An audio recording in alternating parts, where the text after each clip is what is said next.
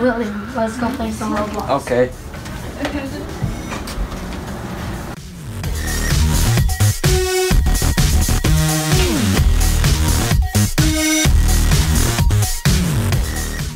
These guys are retarded.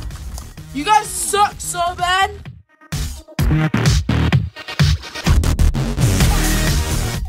Dude, get a grip. Why are you talking that way to me? Leave me alone. You guys are gonna die too.